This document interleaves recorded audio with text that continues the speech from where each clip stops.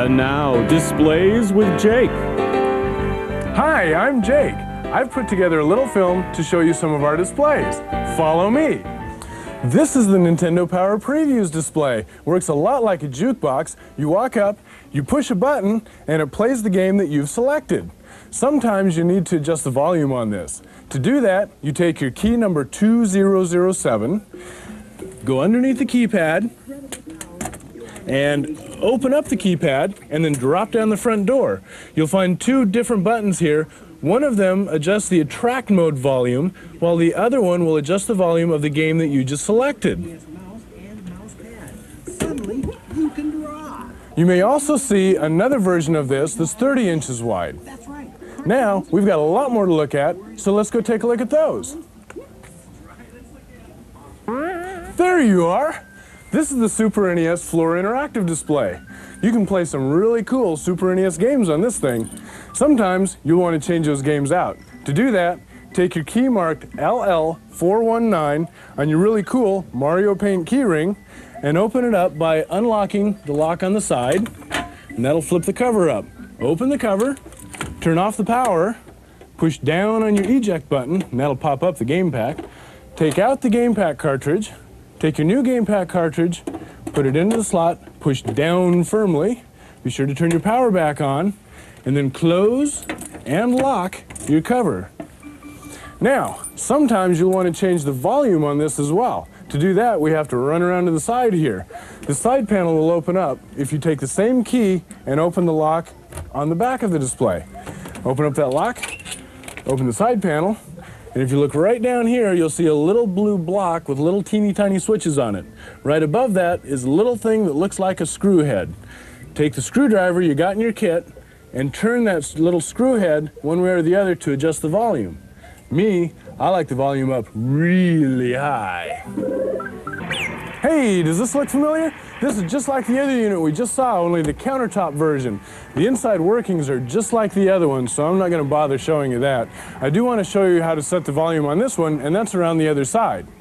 Come over here, and again, we look for that little blue block where the timer settings are made, and look for the little screw head driver adjustment right above that. Be sure to put in your screwdriver, and you know me, I like it up real loud. Hi again. Let's talk about some Game Boy displays. First, we've got the Game Boy Counter Interactive Display. Here, you've got your cool Game Boy with amplified stereo sound. Now on this display, you want to change out the game pack and or adjust the volume. To do that, let's go to the back of the display. In the back, take your key marked MM101, unlock the back door, Open it all the way up. And inside, you'll see the top end of your Game Boy here. To change the cartridge, be sure to turn the volume on your Game Boy off, push up on the game cartridge, and lift it out. And then take your, the game cartridge that you want to replace and, and put it in with the label facing down. Press firmly into the Game Boy. Don't forget to turn the power back on. And you're ready to play your new game. now, adjusting the volume. Let's move to the left-hand side over here. You'll see a, a, funny little electronic board with a bunch of little things like legs and, you know, bugs with legs and stuff. And right up here, you've got a little uh, shaft sticking out with a rubber grommet on it. That's your volume control. Take that and turn it up to make it louder or down to make it quieter. And don't forget, always close and lock your displays. Next, we'll talk about this unit here. Another great Game Boy Interactive with a Game Boy mounted right in here, superb stereo amplified sound, but in this one, we've added some really cool special electronics so that we can watch the game being played on a TV screen. Now here we don't have to get into the back of the display. To change the game cartridge or adjust the volume, we simply open the front panel by using your MM101 key again, turn the key, the front panel flips down. Inside, at the top of your Game Boy, just like we did a minute ago, you can turn the power off and pull your game cartridge out to change it. To put a new one in, don't forget, label has to be down. Insert that into the back of the Game Boy, turn your power back on, and you're ready to play. Adjusting the volume is just as easy. Over here on the right-hand side, you'll see a little black handle sticking off of the electronic board.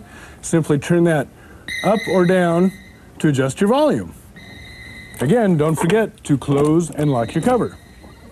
Almost done, only three more to go. Let's start out with some of our bigger displays. Here we've got a Super NES Interactive, and you've seen the Super NES before. This one, you've changed the game pack out in before, so we'll skip all that. But on this one, the volume is a little bit tricky to find, so I want to show you where that's at.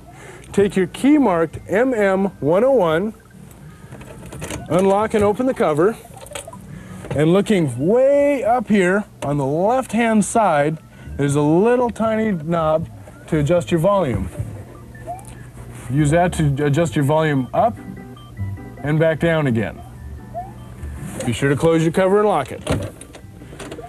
Another display that's very similar to this and another gargantuan in size type display is this one right here. On this one, we have both the NES and a Game Boy.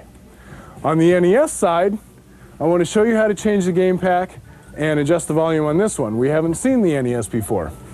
Again, using your key numbered MM101, unlock the cover, lift it out of your way, and inside you'll see the Nintendo Entertainment System control deck. To change a cartridge, press your power button, lift the door, pop out the old cartridge, and take the new cartridge that you want to put in, label facing up, stuff it in there and push it down. Pop down that door, push the power on, and you're ready to play. One more thing before we get out of here is this volume control over here. You've seen the board before, you've seen the silver shaft before, and there's a little rubber grommet. Just take it and turn your volume up or down, and you're all set. Don't forget, close the door and lock it.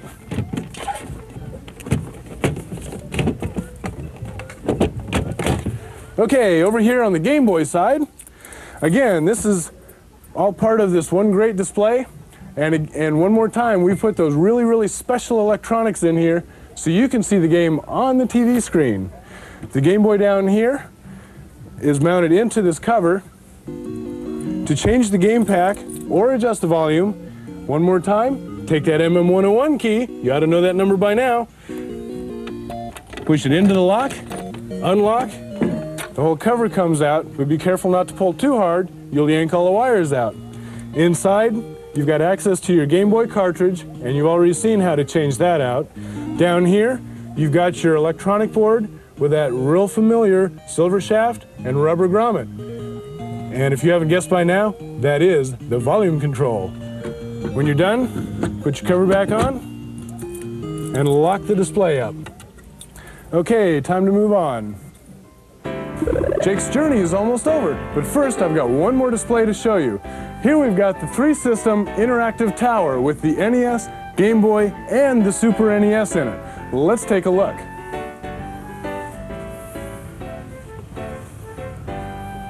Pretty cool, huh?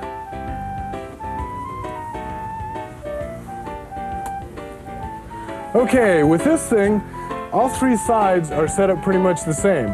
They've got the unit housed inside of a drawer where you can get into and change the game packs out.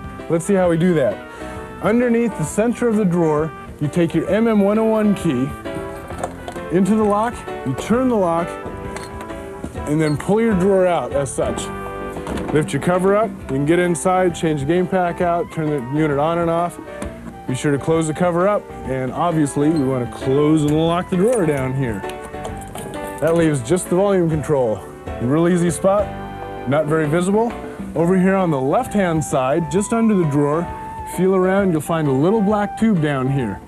Take that tube and turn the volume up or down as you see fit. Now you know me, I like the volume up really high.